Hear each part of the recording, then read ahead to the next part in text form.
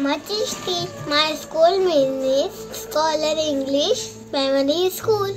I am performing this activity because my teacher and friend. me here to help poor and needy people.